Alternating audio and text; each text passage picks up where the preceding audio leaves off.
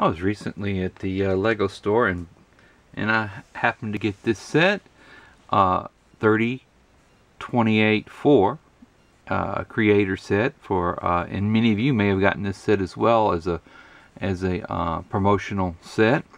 And I put it together and I liked it uh, and I thought hey that doesn't really fit in Maryville. It's too small. What could I do with it? And I decided that I could make it into a riding lawnmower. So you can see here's the original set and here is the riding lawnmower. And I'm going to convert this original set into a riding lawnmower with uh, these pieces. I have a 1 by 2 a 2 by 2 two of these um, I really don't know what they're called well antennas and um, stud one by one uh, with a circle at the end of it, uh, a seat, a steering wheel, and two of these and two of these. So I'm going to convert this into a riding lawnmower. It won't take but a second. I take off the uh, top part. I try to take off the top part. Take off the top part and uh, remove the these as well and this. Okay I've removed all that. And um, so I have it it's like like this. I also removed the uh, cultivator at the back. So now I'm at this point. Alright. So next I'm going to put uh, these pieces on. The one by ones with the antennas on each side and then I'm going to um, put the seat in. It doesn't fit perfectly but it fits right there. And then uh, a steering wheel.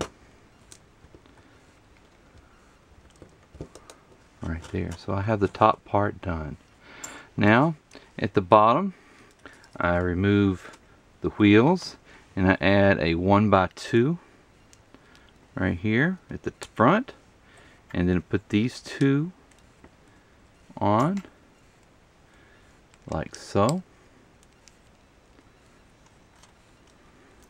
I remove the back back one and add a 2 by 2 put the wheels back on.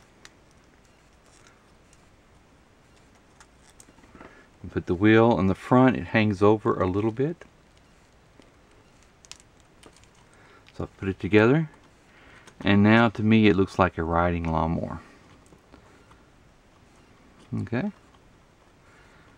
And so I had done one with the uh, in green to make it sort of look like a, a John uh, Deere. And uh, Brick Smith might like that because it's in a different color. And uh, remove these parts. You could put the cultivator back on if you wanted to as a lawn lawnmower or you can uh, leave it off. I'm just going to leave it off for now. And so there we are. Tell me what you think. I like it. It's uh, a cool thing. I'll put it in uh, the yard cutting grass. And uh, so there we are. Have a good day. And if you haven't subscribed to my channel, I would like for you to. It's been a while since I've made any videos. Uh, I hope to make some more soon.